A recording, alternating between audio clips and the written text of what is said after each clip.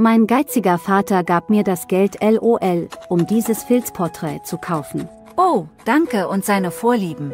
Mein Vater hasste Hunde immer, weil er als Kind von streunenden Hunden gebissen wurde und fast den Impfstoff verpasste. Er will also niemals Hunde anfassen, genauso wie er an einer posttraumatischen Belastungsstörung leidet. Aber wie hat er sich verändert? Er gab dir sogar Geld, um einen Filz für den Hund zu kaufen, haha. Joyce Beharrlichkeit.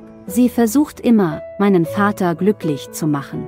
Bis Papa eines Tages an seine verstorbene Frau dachte und weinte, und Joey begleitete ihn durch eine schwierige Nacht. Das ist reine Liebe von Haustieren.